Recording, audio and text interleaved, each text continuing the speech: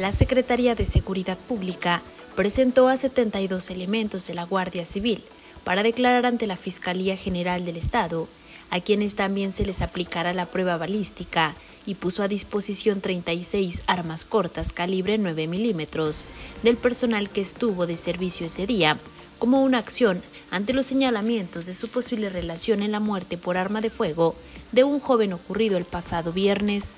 El secretario de Seguridad Pública, José Alfredo Reyes Ortega, señaló que en la Guardia Civil actos como este no se toleran e instruyó poner a disposición de la Fiscalía General del Estado los videos que permiten identificar la trayectoria de las unidades de la Guardia Civil, operando durante la jornada en mención, como parte de la revisión del despliegue operativo efectuado el pasado viernes 23 de febrero. A la par, como acción correctiva inmediata, se volverá a aplicar pruebas de control y confianza a todo el personal de la Guardia Civil adscrito a la región Morelia, informó para Red 113 Luzma Cervantes.